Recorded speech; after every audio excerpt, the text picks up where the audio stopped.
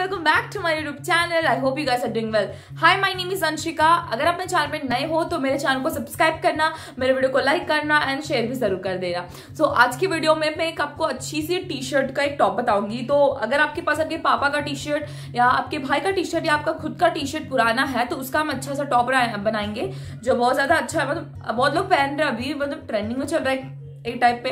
तो उसी का मैं एक मेरे पास एक टी शर्ट है तो मैं उसी का एक अच्छा सा टॉप बनाने वाली हूँ। तो चलो वीडियो स्टार्ट करते हैं without wasting a time edit करने के लिए हमें कुछ ज़्यादा सामान तो चाहिए ही नहीं।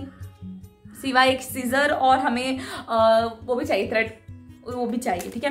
तो चलो वीडियो स्टार्ट करते हैं। तो फ़र्स्ट मैं आपको पहले बता दू उसको हमें क्या करना क्या है। तो ये आपको जो आपका टी शर्ट है हम इसको लाइक मेरे हिसाब से मैं इसको कट करूँगी. लाइक आपके जाए जितना बॉडी है आप ऐसा कट करोगे सो so, अब देख सकते हो यहाँ पे मेरी एक टी शर्ट है तो मैं उसको हाफ़ कट करने वाली हूँ इसका आधा.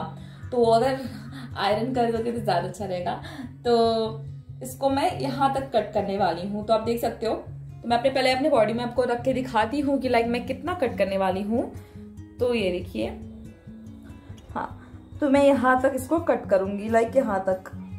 ओके आप देख सकते हो, मैं यहाँ तक इसको कट करने वाली हूँ। तो चलो जल्दी से कट करते हैं। तो वैसे हम इसको अच्छे से कट करने वाले हैं। अगर आपका हाथ शिवर होता है तो आप क्या कीजिए, आप स्केल से एक लाइन बना लीजिए, फिर उसके बाद अच्छे से कट कीजिए। और उसका आपको नेक भी कट कर देना है। अगर आपके पास कॉलर है तो आप उसको कॉलर को नहीं रिमूव करो, क्योंकि वो ज़्यादा अच्छा लगेगा।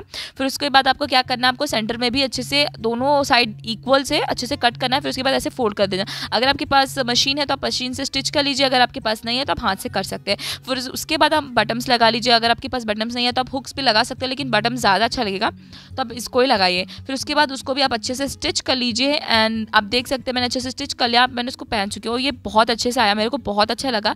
आप लोग भी इसको ट्राई कर सकते हैं, ये बहुत ज़्यादा अच्छा था।